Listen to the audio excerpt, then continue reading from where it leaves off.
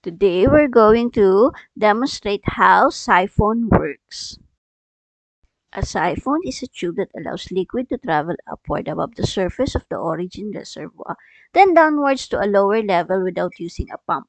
When a certain amount of water moves over the bend in the siphon, gravity pulls it down on the longer leg, lowers the atmospheric pressure in the bend of the siphon. In demo number 1, the air pressure on the water in the test tube pushes the water into the hose. This water continues to flow into the beaker because of gravity. The vacuum remains and the air pressure in the water in the test tube continues to push the water into the hose.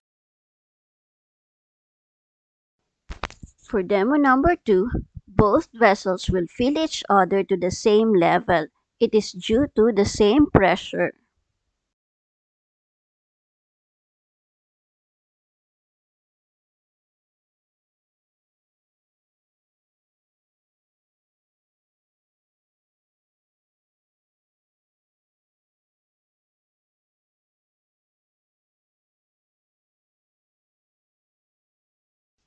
For demo 3, as the water pours out, it creates a vacuum inside the test tube. Since air cannot fill the space vacated by the water, the vacuum pulls the water from the beaker to the jet and refills the test tube. The water continues to pour out of the test tube and the test tube keeps refilling itself until the beaker is emptied.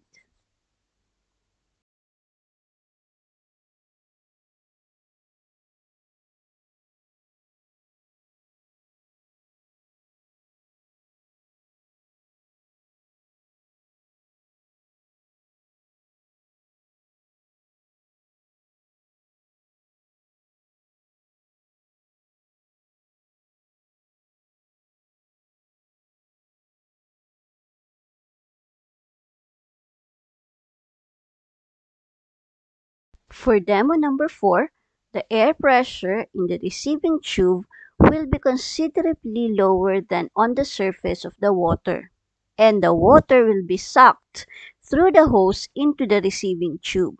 When the red water reaches the test tube, it will continue to flow until all the water from the beaker is empty.